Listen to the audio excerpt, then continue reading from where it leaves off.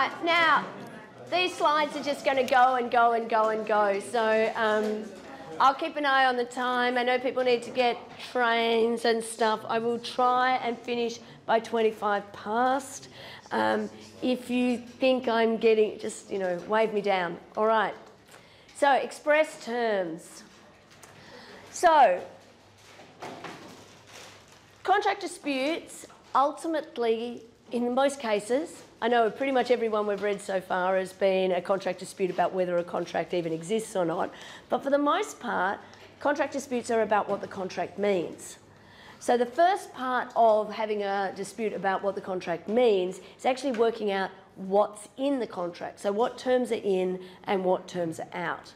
So we're talking here about terms in a sense of promissory terms. So they're terms things that were said, things that were written down, things that were communicated that were intended to be binding, binding or intended to be relied on. In fact, they part, form part of the promise. And we need to distinguish those from things that were said, things that were written down, things that were communicated that weren't promissory in nature. That show things like puffs, we've spoken about before, um, opinions perhaps, um, estimates, maybe, really depends on the circumstances. Um, so again, I'm going to fly through the slides this time because there's a lot there and there's a lot for you to have a look at. So, puffs. Puffs were a big part of the conversation or the dispute in Carlill and Carbolic Smoke Ball. When you think about that case, a big part of what was actually being disputed there was was the promise that was made to pay an amount of money to somebody who got the flu an enforceable promise? Was it a representation that was promissory in nature? And at the time, the Smokeball Company argued no. One of the arguments was we never meant it. We had no intention from the very beginning of keeping that promise it's from that argument that we get a clear statement. It doesn't matter what you meant on the inside, it matters what it looked like you meant on the outside. Um, but another of the arguments was, well, nobody could seriously have believed it. It was a puff. And that's one of the reasons why I point out to you that it was a promise that was effectively to pay in the order of 300,000 Aussie dollars, I think. I can't remember no, it's more than that. It's about half a million dollars, isn't it? Um, so you think about, um, I always think about the cold, cold and flu ads. Probably shouldn't use the names of uh, products, but I will. They used to have a little jingle, soldier on, soldier on. You can take these cold and flu tablets and you can still perform your job adequately. Now, it will not surprise you to know that I have not taken a cold and flu tablet today, just in case I pass out in the classroom. I'm pretty sure I'm at best doing my job adequately today. Um, but if their ad was, you can do your job adequately if you take these cold and flu tablets, and if you can't, so in fact it's survey time, you guys are now at liberty to do those good teaching, what do they call? We call them the good teaching scores. Um, and you call them the course experience survey. You can do the course experience survey. You can give me absolutely the worst scores ever because I am completely sucking with this cold. Let's limit it to the cold. It'll hurt my feelings if you talk about the other reasons that I suck. And um, so I've got this evidence then that I couldn't do my job adequately when I had the cold, so I could show up and get half a million dollars. Whew, that sounds pretty good. Would that be a puff? So in Carlill and Carbolic Smoke Ball, because of the way it was presented, it wasn't. This particular advertisement that we have here, we all know that if you drink that stuff, you can't fly. We know. Well, sometimes you, when you mix it with other things, you think you can fly, but let's, we're just talking about straight from the vending machine, all right? So when we have a puff, a puff has no legal effect. So a representation has been made, but it is not promissory and it is not expected to be promissory. So let's talk about the difference, this term representation, and the difference, well, I was about to say the difference between terms and representations, but all terms are representations, but not all representations end up being terms of the contract. So we need to explore when a representation is simply that, something that is communicated between the parties before the contract's entered into, and when does it become a part of the contract that is created.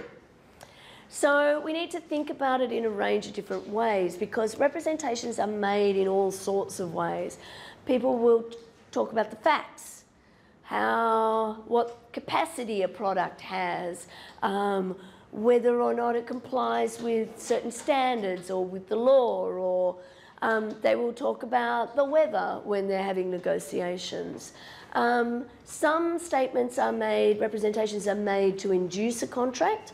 Some, but not all, are intended to be relied upon. And not all statements that are made to induce a contract are intended to be relied upon. So a puff is a good example of that. It's made to have, uh, you know, puffing, a puffery statement is made often to make people laugh, to make people aware of the product, but there's no promise made. Another example I like to use there is that deodorant that brings millions of people to your room when you spray it. And the mothers of every 14 year old boy in the country understand how, even though they get that that's not going to happen, they're still going to spray that disgusting th stuff all the way through the house. Don't laugh, you've done it. Um, some representations, if they're false, there may well be remedies available under the Trade, oh God, I really am regressing, under the Competition and Consumer Act. Um, thou shalt not in trade or commerce say stuff that is misleading or deceptive or likely to mislead or deceive. So it might be prohibited conduct anyway, it might end up having some uh, damages connected to it, but it, it's not necessarily connected as a term. So we need to be able to recognise them and then we need to work out which representations are terms. So terms are the statements that the parties agree on.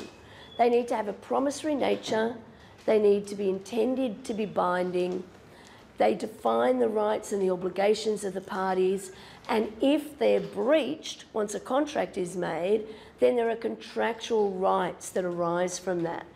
Depending on the type of term, that could be rescission or termination of the contract, or in some case, or it might just be damages. It might lead to the ability to seek an injunction or to get an order of specific performance. Injunction and specific performance are both equitable remedies.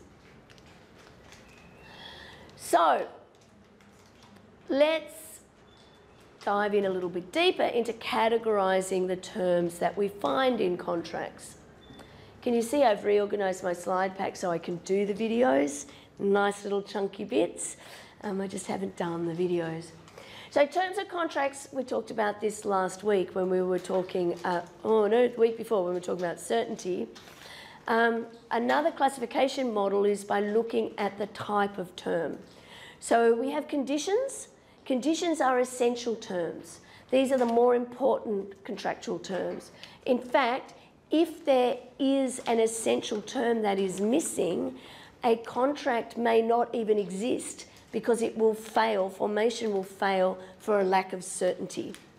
So certainty in the sense of completeness.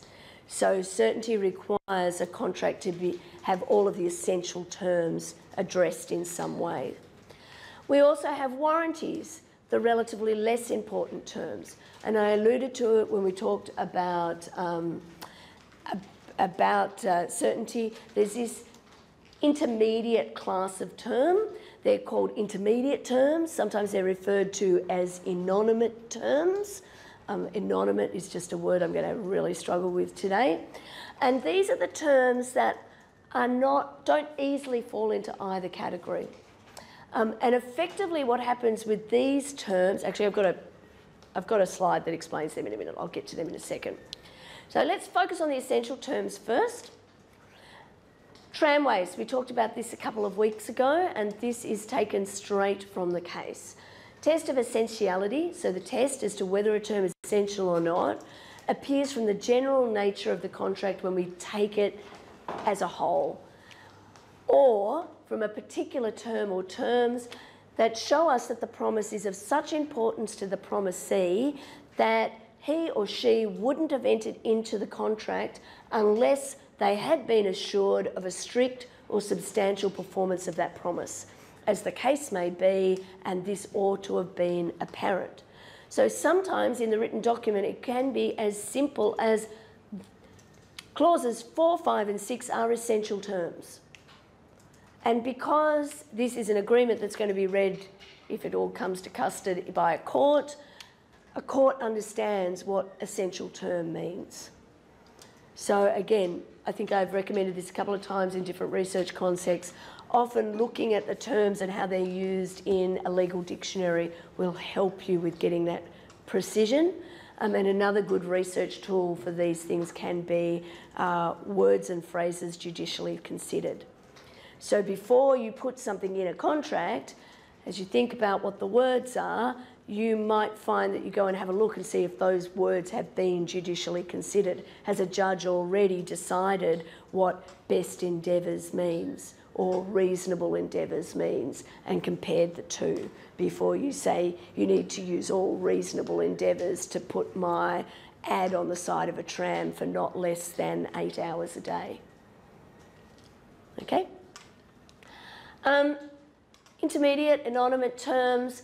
Uh, UK concept came from Hong Kong Fir case back in 1962.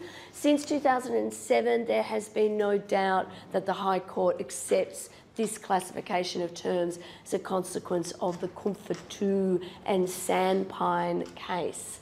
Um, effectively, what happens when you have an intermediate term is well, actually, I'll show you the table that I put together. If you've got a breach of a condition, then regardless of the consequences, the person who is offended by the breach, who suffers the breach, can require the, the contract to be terminated, even if their actual damage is quite minor. If you breach a warranty, the other side can seek damages but cannot terminate the, uh, um, terminate the contract even if the damage to them is really substantial. So for those two, we don't look at what the nature of the damage is, the impact of the clause is only the classification of the clause.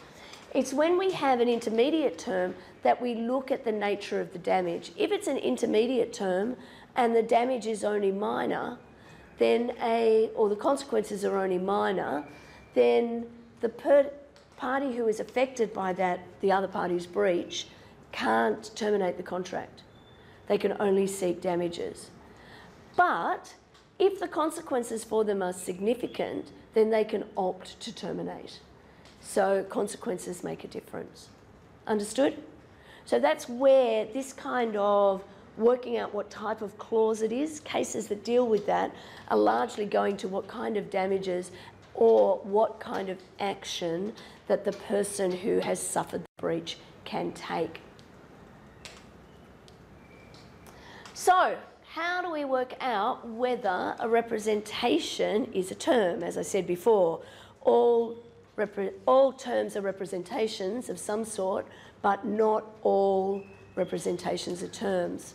Actually, I'm going to revise my Venn diagram in my head because some terms might be implied by law, custom, or terms that are implied by fact are likely to be representations to a point, but implied terms won't always be representations. Okay, but express terms, all express terms will be uh, representations, not all, sorry, all express yeah, all expressed terms will be representations, but not all representations will be terms. Did I make any sense to you then? Um, who has the whiteboard marker in their bag? Oh, you are a star. This is. Oh, actually, maybe I can do it here. I'll see. I've just. You've just reminded me that I can draw on my screen. This will be easier for those of us who are playing at home.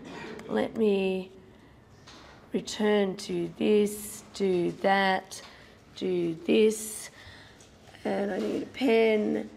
I think I need the pen to be white. There we go. So, representations. These are things that people say, do, or communicate. Then we have terms, express terms. All of them sit inside, okay? Express terms are always going to be representations. But things like puffs, um, potentially opinions, you're going to need to decide on the facts whether that's a term or whether it's just a representation. Okay, so all expressed terms, they come from representations, they come from communications that one party has made to another party. But not all representations will are promises, so not all of them will become terms. Or even if they are promises, they might not be promises intended to be binding. Is that a little bit better? Cool. Now I'm sitting down, there's a really good chance I won't stand up. Okay, so relevant factors, high level. They include things like, well, what's the language that is used? We'll talk about JJ Savage and Oscar Chesson Williams in a minute. We will also, again, um, JJ Savage, Oscar Chesson, Dick Bentley are all cases that go to the relative expertise of the parties. Um, so, in understanding who is the party who has knowledge here? Um, where is there the opportunity for what the economists would call a moral hazard? So if my doctor tells me stuff about how a medicine would work, that might be a contractual promise as to how it's going to work, maybe not. Um, whereas if my mother tells me how a medicine is going to work, it might be a compl- my mother is not a doctor, nor is she entirely sane when it comes to medications. Relative expertise. How important is the term? Is it something which a party made their decision to buy or to sell or to enter into the contract on? So we'll talk about Van den Esschert if we get there, otherwise, the beginning of next week. Um, Van den Esschert is also relevant to timing. Um, the form of a written agreement. Do we have something in writing? Um, is it consistent or inconsistent with the promises that have been made? We probably won't get to that this week. We'll do that next week and we'll talk about that in the context of the parol evidence rule. And then, oops, sorry, I thought I had another bubble. Um, we have this lovely all other relevant circumstances. So again, where this hopefully is leading you to the idea that the courts will use an objective test. There are some formulas that it's created from these examples, but it will use an objective test to determine whether or not a, a statement, a communication that was made, is promissory in nature. Again, why do we care? We love to categorise things as lawyers. It's useful, particularly in exam uh, to be able to demonstrate that you know what categories things fit into, but the categories are really there to help you think about them. So, again, in an assignment, I am probably less interested in your ability to categorise things per se than I am in your eh, ability to make sense of things once you put them into the categories. So uh, it's interesting. Um, it's affected online people more than face to face people this week. This morning, I marked the uh, outstanding discussion board tasks, and the most, not the most recent task, oh, no, it might have been the most recent task, one of the two, because I had to mark two lots in one day. Uh, the problem that related to Judy and Carl and some unsatisfactory accommodation in Queensland. Um, pretty much everybody who did it in the OUA group, um, I'm not outing any of you, I hope, um, they looked at it immediately and they did some categorisation, which said, okay, Carl is under the age of 18, so he's a minor, so I've categorised this as a problem about capacity. Where the question actually pointed out that Judy had entered into the contract for her son Carl, and then Carl found the, satis- uh, uh, the um, uh, accommodation unsatisfactory. You were asked, can he sue? It was actually a privity question. Um, so again, it, it, wasn't a stupid thing by any, you know, it, they were put together very much because those two topics were done in the same um, in the same weeks. Uh, and definitely the approach that you good students took was to deal with the bigger problem first. Well, no, he can't sue, but his mother has entered into the contract. I think she was his mother, I can't remember the facts now. All he has to do is go back and say to her, just the same as if he had done something to breach the contract, the landlord would have had to go back to Judy first, but then deal with the, um, the capacity issue. Now, again, it's a pretty simple example, but it's by using the categorisation, what kind of problem is this? Which of the which of the relevant features might exist here? um, and not necessarily starting at the first one, but identifying all of the potential categories, then weighting which is the best way to approach this. People came out with stronger or weaker answers. Um, not, you know, not that they were terrible, but there we are. Um, what else am I going to say here? Um, it's also important to remember, and we'll deal a lot more with this in week 11, that False representations, even when they're not contract terms, might give rise to other rights, uh, particularly under um, the Fair Trade Act in the States or the Competition and Consumer Act um, generally.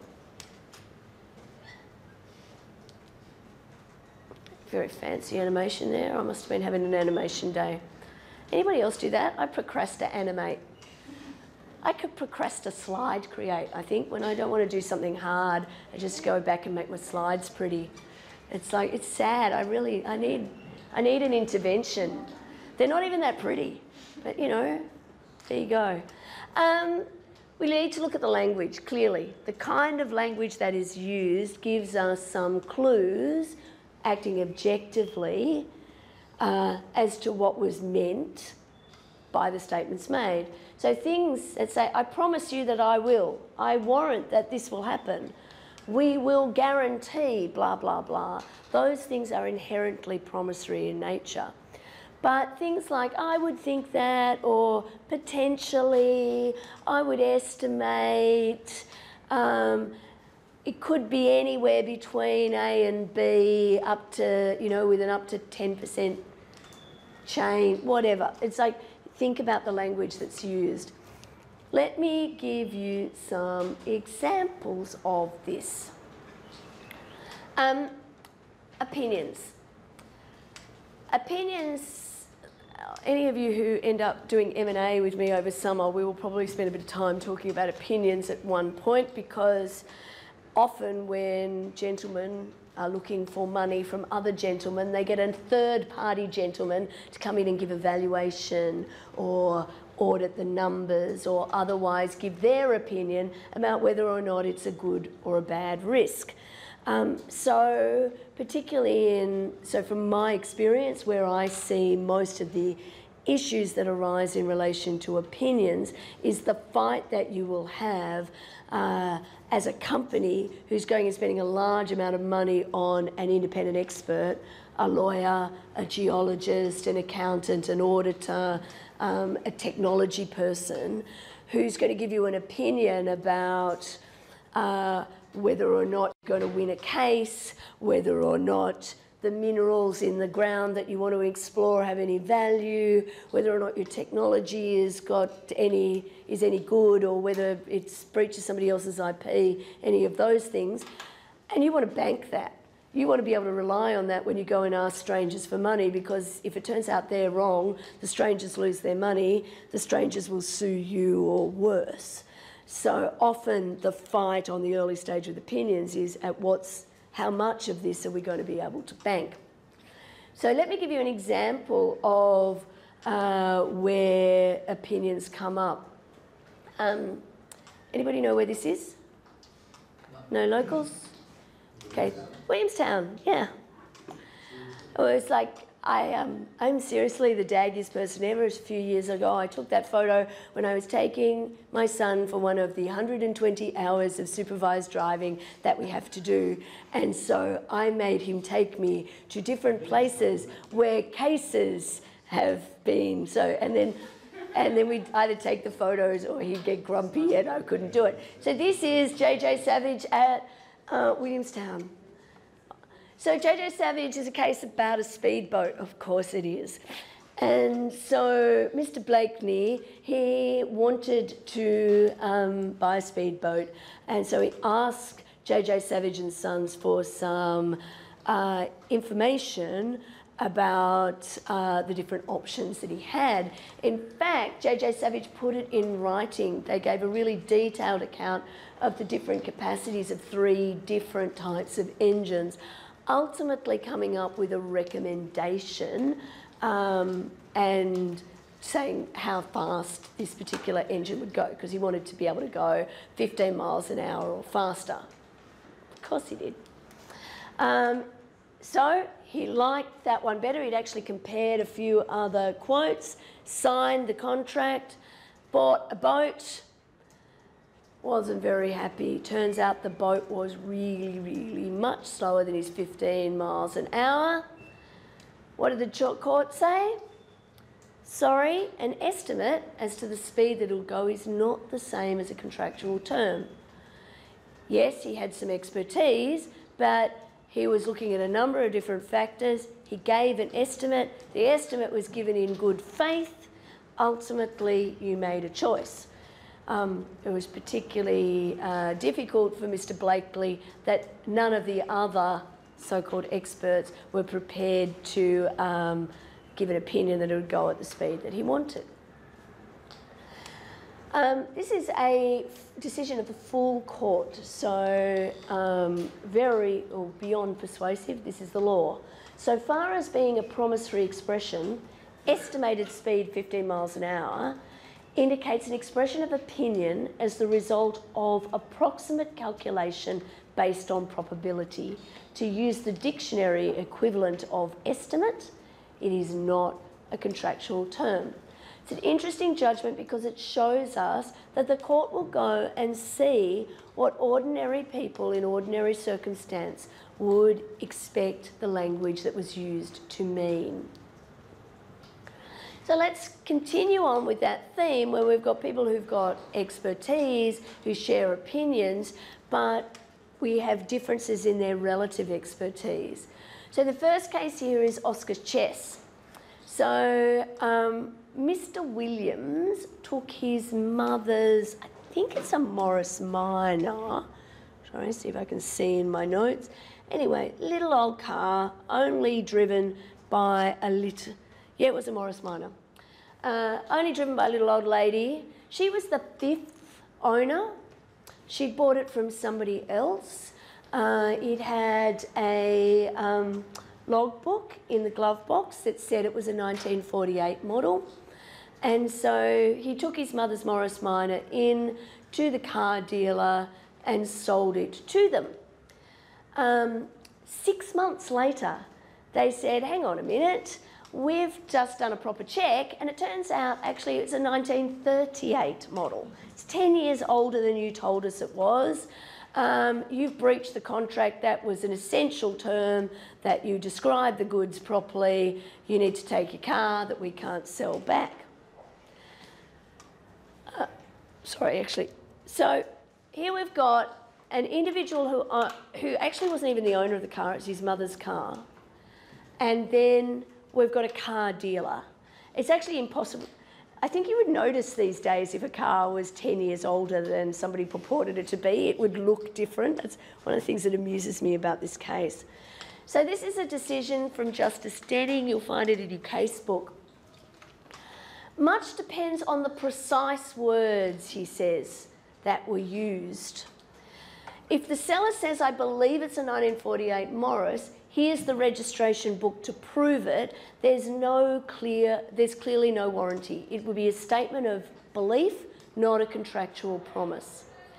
But if the seller says, I guarantee that it's a 1948 Morris, this is borne out by the registration book, but you need not rely solely on that. I give you my own guarantee that it is. It's definitely a 1948 model. Then the seller is making himself contractually responsible, even though the registration book is wrong. I ask myself, what is the proper inference from the known facts? So, in other words, he's using an objective test. It must have been obvious to both that the seller himself had no personal knowledge of the year when the car was made. So it goes on to say, in these circumstances, the intelligent bystander would, I suggest, say that the seller did not intend to bind himself so as to warrant that it was a 1948 model. If the seller was asked to pledge himself to it, he would at once have said, I can't do that. I've only got the logbook to go by, the same as you. Okay, so the relative expertise, we've got the car dealer is in a position to know better most likely. So let's look at Dick Bentley. So Mr. Bentley, clearly a man who took his name seriously, was very keen on getting himself a Bentley car. He specifically wanted one that had been well vetted, and he was advised to and did go to, sorry, what are they called? Harold Smith Motors, because Harold Smith Motors they were the experts in relation to Bentley. 1965, beautiful year. So they found that this car, they said it was a car of his dreams. It had a replacement engine and gearbox in it, but it had only done 20,000 miles. It's just the perfect car for you. So he bought the car, but turns out it had done way more than 20,000 uh, miles. It was bad. Uh, it, it, it, the gearbox and the motor didn't work. It drove like a dog. That's possibly not a direct quote from the case. There's little idiom, little idiom for you. Um, so they found very similar facts. Somebody has sold a car to somebody else, turned out to be not what they expected, but they distinguished Oscar Chess. Why? Because Harold Smith Motors were the expert. They were the ones who should have known whether or not it was a good car. And specifically, Dick Bentley went to them looking for advice, had held himself out as having no expertise. Sarisha, you look very distressed about this result. Does that not make sense to you at all? Or do you just want a Bentley? Ah, now good point. I'm waiting because comparing it to the boat case. So how is this different from the boat case? So in JJ Savage, they were presumably the experts. He went to them and said, Give me the different options, and recommend what's best. Shouldn't the result be the same as this, or shouldn't the result in that be the same as JJ Savage? It was, it, they used the word estimate. Okay, so look at the language that was used. The principles are the same. We're still using an objective test. JJ Savage is a little bit problematic, um, I will say, and I think that if the Trade Practices Act had been in place at the time that that case was heard, that we would probably have seen a different action brought and a different result. So, yeah, Oscar Chess is distinguishable. Some good law here. For the, if a representation is made in the course of contractual negotiations for a contract for the purpose of inducing the other person to act on it, and that actually does induce them to go into the contract, then that's prima facie grounds for inferring that the representation was intended as a promise or as a warranty. Of course, it's rebuttable, but that's the point where we're at. Okay, I'm going to try and do one, maybe two more, and we'll see where we get. So, ah, oh, other part of factors, importance, timings, etc. So, how important a statement is will impact the extent to which a court is likely to find it to be a representation to be a term or not, particularly if it induces somebody to enter into the contract. The quote on the screen there is from Van den Esschert and Chappell. Um, Van den Esschert and Chappell is, I, I find this an amusing case, 1960. Um, contracting parties, it's about the sale of a house. The vendor and the purchaser are around the kitchen table. Uh, look, I make up facts, might not be, could be anywhere. But they were about to sign the contract. So our purchaser's literally holding the pen, about to sign the contract. Again, I make up the facts, but it was very, very close to that point in time. Uh, and he says, Oh, hang on a minute, didn't do a pest inspection. Are there any white ants? And the vendor says, No, no, no, no, no, no. If there'd been any, I would have taken steps to eradicate them. And we're right there where he's got the pen and he's about to sign the contract. So he signs the contract, the house is sold, turns out place is riddled with white ants and substantial damage. Little procrastination animation there, just for you. Um, so, question is that promise that was made, or is that statement, if there'd been any, I would have taken steps to eradicate them, is it a term of the contract that there are no white ants? Yes. Got a bit of a yes. Okay, we've got a couple of our conveyancing people here. It's like, it's not in writing, okay? So we've got a bit of an issue here. It's not in writing because we've got that parol, uh, sorry, we've got the formalities issues that we were talking about the other day. And since Adam was a boy, um, the responsibility for checking out whether or not the property is suitable for purpose, it's buyer beware. It's the purchaser who does the pest inspection. Uh, so it would be quite unusual for a vendor to make a promise that there are no white ants. Yeah, I'm just falling with you. You guys were right to start off with. Yes, it was a term of the contract. Um, the reason for that was the importance of the statement and the timing. Now, under the parol evidence rule, there were no statements that were inconsistent with that promise. Um, and ultimately, the lack of writing, um, we've got an equitable uh, equitable remedy that allows us to get around in relation to that.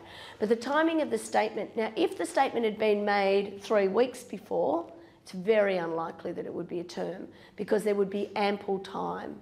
But when you're sitting there, the deal is done, everything's agreed, and the the purchaser is about to sign the contract and then says, oh, oh, hang on a minute, I've got one more thing.